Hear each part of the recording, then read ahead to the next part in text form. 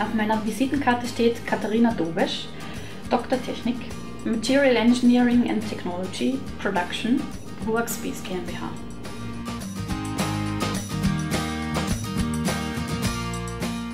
Das ist ein sehr umfangreiches Themengebiet und daher ein bisschen schwierig zu beschreiben.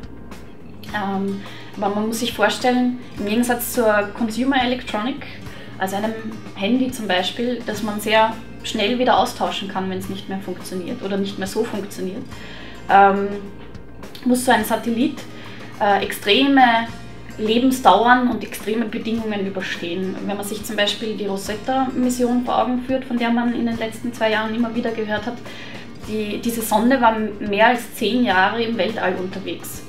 Äh, wir haben, oder die RUAG hat äh, zu dieser Sonde damals ähm, eine Elektronik beigesteuert, unter anderem zum Beispiel ähm, zur Auswertung und Steuerung von einem Rasterkraftmikroskop. Und obwohl diese Elektronik zehn Jahre durchs Weltall geflogen ist, musste sie dann noch immer einwandfrei funktionieren. Und das sind schon sehr hohe Anforderungen an die Zuverlässigkeit und die Qualität unserer Produkte im Großen und Ganzen.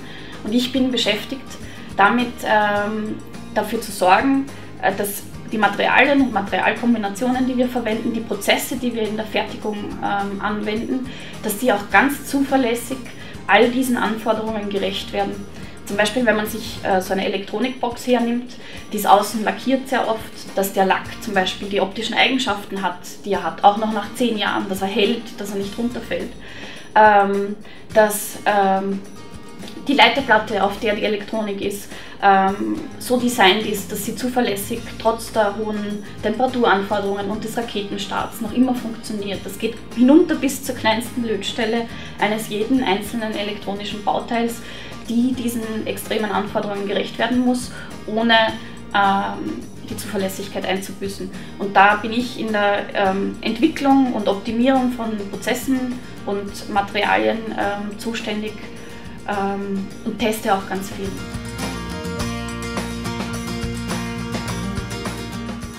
Bin an sehr, sehr vielen verschiedenen Projekten beteiligt, aber um eins rauszugreifen, ähm, wir bauen zum Beispiel für den ExoMars Rover der ESA, der 2020 zum Mars starten soll, ähm, einen ausklappbaren Mast, auf dem äh, eine Kamera montiert sein wird ähm, und auch einen Teil des zentralen äh, Steuerungscomputers äh, dieses Rovers.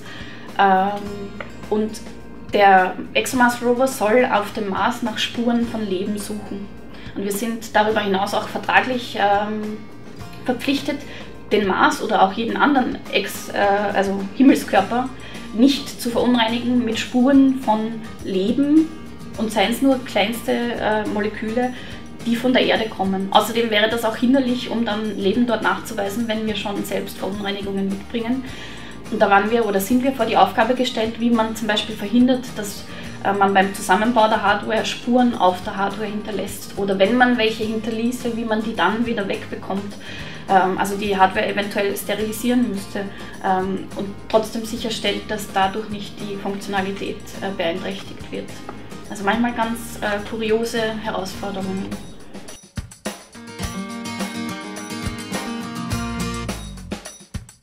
In unserem ganzen Unternehmen in Österreich haben wir 40 äh, ähm, Frauen. Davon haben in etwa 15 einen technischen Hintergrund. Ähm, wir würden uns freuen, wenn es mehr wären, ähm, aber es ist manchmal äh, schwierig, Technikerinnen zu finden für die offenen Stellen, weil sich recht wenige bewerben.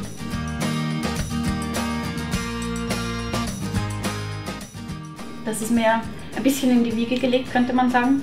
Äh, mein Vater ist Physiker und hat mich schon von Kind auf ein bisschen für diese Denkweisen ähm, der Physik begeistert und auch ähm, die Neugierde mir mitgegeben, Dinge zu hinterfragen und verstehen zu wollen.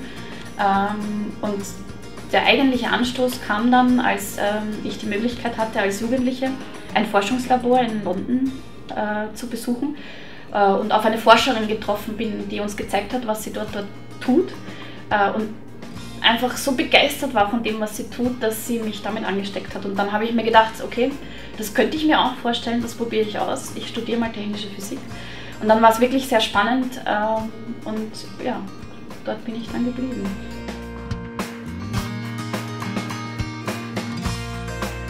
Nach meinem Studium war ich prinzipiell eigentlich auf der Suche nach einem spannenden, herausfordernden, abwechslungsreichen Job, ähm, technische Probleme zu lösen oder meinen Beitrag dazu zu leisten. Ähm, dass es dann das Thema Raumfahrt geworden ist, ist eigentlich ein Zufall und ein Riesenglück gewesen. Ähm, und dass es so hohe Herausforderungen sind, denen ich jetzt quasi äh, gegenüberstehe, ist auch ein Riesenglück gewesen. Ähm, das heißt, ja, es war einfach ein bisschen Zufall.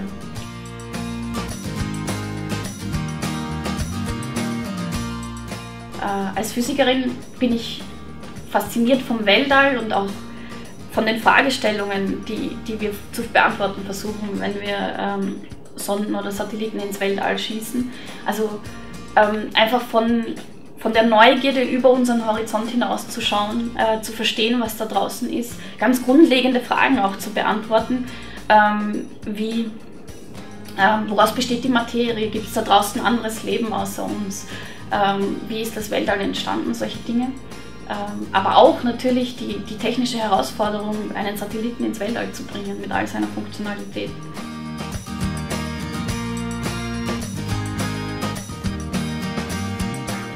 Das ist ein bisschen schwierig für mich persönlich zu beantworten, weil ich mich nie in meiner Entwicklung gehemmt gefühlt habe eigentlich und schon gar nicht hier bei RUAG. Ähm, aber ich glaube, das findet ganz viel in den Köpfen der Menschen statt. Kleine Mädchen und kleine Buben wachsen auf mit ganz, mit eigentlich wahrscheinlich doch recht konkreten Vorstellungen davon, was sie können und was sie nicht können und wo sie gut sind und wo sie nicht so gut sind. Also Mädchen äh, bringen irgendwie vielleicht ein bisschen mit, sie sind gut in sozialen Dingen, darum sich andere, um andere zu kümmern, in Sprachen, Kunst, solche Dinge. Und Buben bekommen vielleicht eher mit, sie sind gut in Naturwissenschaften, in logischem Denken, solche Dinge. Äh, und ich glaube, da muss man ein bisschen die Barrieren in den Köpfen der Menschen vielleicht durchbrechen und Kindern mitgeben, du kannst alles machen, was dir Spaß macht. Du hast keine Grenzen gesetzt eigentlich. Ähm, und dann aus meiner eigenen Erfahrung denke ich auch, dass Rollenbilder durchaus einen Beitrag leisten. Sprich, dass auch ein Mädchen zum Beispiel ein Rollenbild, ein weibliches Rollenbild hat, eine Frau hat, wo sie sich denken kann, hm, die hat das gemacht, äh, die ist so weit gekommen, das kann ich auch. So kann ich mir das vorstellen. Ähm, und vielleicht ähm, wird es dann sehr bald mal mehr männliche Kindergärtner und mehr weibliche Astronautinnen geben.